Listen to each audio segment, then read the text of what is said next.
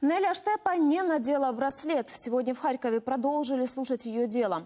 Накануне Ленинский райсуд отпустил экс-мэра Славянска под домашний арест и обязал носить электронный браслет. Но на сегодняшнее заседание она приехала без него. Оказалось, что в Славянском отделе полиции, куда явилась Штепа, такого девайса вообще нет. В полиции пообещали, что обязательно займутся этим вопросом. Напомню, бывшую градоначальницу арестовали 13 июля 2014 -го. Ее обвиняют в посягательстве на территориальную целостность Украины и создании террористической группы.